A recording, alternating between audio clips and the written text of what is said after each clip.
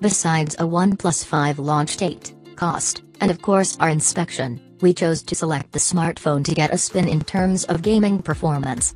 In the end, it is one of the very first Snapdragon 835 SoC-powered apparatus to be made available in India, and also the one with the maximum RAM at this stage. OnePlus 5 specification incorporates a Qualcomm Snapdragon 835 octal-core SoC clocking up to 2.45 GHz, an Adreno 540 GPU, 6GB of RAM is used 64GB storage, or even 8GB of RAM with 128GB of storage, plus a full HD display, 1920 by 1080 pixels.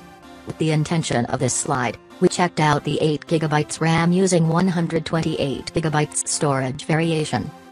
OnePlus 5 gaming specific capabilities, while the Samsung incorporated choices to tweak using the Galaxy S8 and S8 Plus functionality using a game mode, game launcher, and options of resolution, the OnePlus 5 carries a more minimalist approach to the event. Two gaming-specific attributes exist, Gaming Do Not Disturb mode and Dash Charge while gaming. The former enables users to choose games to add to a Do Not Disturb list. This, as its name implies, turns off notifications as well as other tasks such as inadvertently pressing hardware keys, ensuring total immersion. In terms of the latter, it allows the OnePlus 5 fee whilst playing games as quickly as it would if it was not. This is not only for gaming, however, movie streaming or GPS use will not affect charging. OnePlus 5 gaming functionality. As you'd expect, we checked out a bunch of demanding titles, we started off using Asphalt 8, and so were treated to lush visuals and stunning weather impacts in addition to comprehensive car models. Everything looked fantastic about the OnePlus 5 to most part, however, we discovered that beneath the spectacle of god beams and lashing rain which made up Asphalt 8 Iceland and Tokyo amounts, the frame rate was significantly less than satisfactory. There was a perceptible quantity of slowdown, which made it far from best. Slimming down the picture quality to medium rectified this.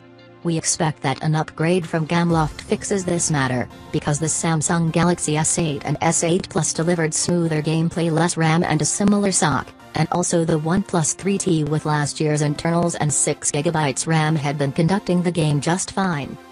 Matters look much better in Breakneck, a futuristic racer in the form of the Wipeout collection of PlayStation games.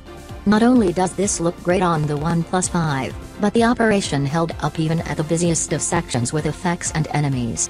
We had a similar encounter with Warhammer 40,000, Freeblade. This shot, based on the Warhammer 40,000 world, looked great and played just too, despite high-resolution textures and massive quantities of enemies on screen, creating killing orcs and giant robots a spectacle that was smooth. The lag-free gameplay expanded to vainglory, that the cellular equal to Dota 2. Visuals looked fantastic while the frame rate was constant.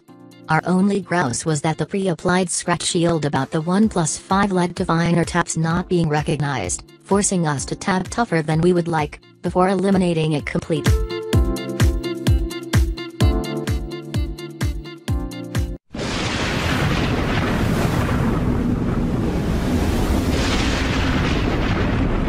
Thanks for watching, please like and subscribe now.